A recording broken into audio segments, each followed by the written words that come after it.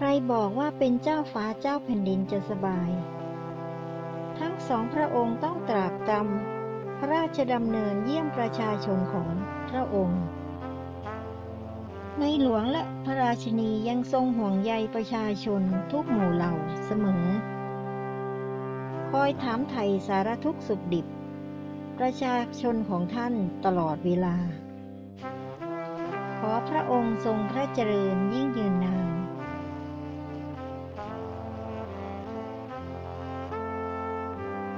แต่ในประเทศไทยเนี่ยนะ มีมานานแล้วซึ่งประเทศอื่นมันไม่มีคือคนไทยเราเนี่ยเป็นคนที่ใจดีที่สุด คนไทยเนี่ยเป็นคนที่มีน้ำใจ คนไทยเนี่ยรักพี่น้อง แล้วก็ช่วยกัน แต่คนไทยจำเป็นต้องมีวินัยคนไทยเราจะก็ต้องได้ถึงส่วนรวม คนไทยจะต้องเคารพกฎเกณฑ์ในในสิ่งที่ถูกต้องกฎเกณฑ์อะไรกฎเกณฑ์ที่ทำให้เรามีความสุขปลอดภัยหรือหน้าที่พลเมืองที่ดี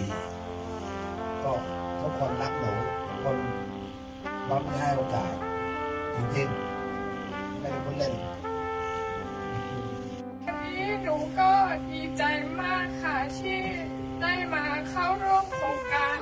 อบรมจิตอาสานี้ค่ะ แล้วก็ ก็เป็นแค่ชาวเขากลุ่มเล็กๆ ที่ได้รับโอกาสจากเขาค่ะ ได้รับการศึกษาที่ดีค่ะ เพราะว่าแต่ก่อนค่ะเขาจะชอบพูดว่าถ้าในหลวงราชการที่เก้าสวรรคตแล้วราชการที่สิบจะไม่ชอบคนมงแล้วก็จะผ่านชีวิตคนมง ไล่ชีวิตไล่พวกหนูออกจากประเทศหนูกลัวมากเลยค่ะหนูกลัวว่า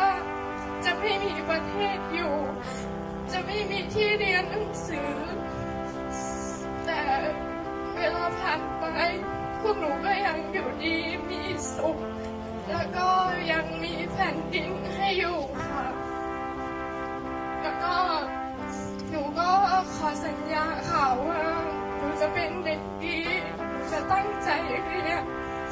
หนูจะนำความรู้ที่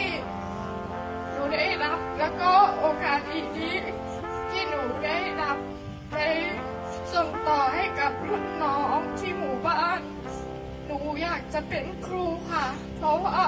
หนูอยากไปพัฒนาหมู่บ้านตัวเอง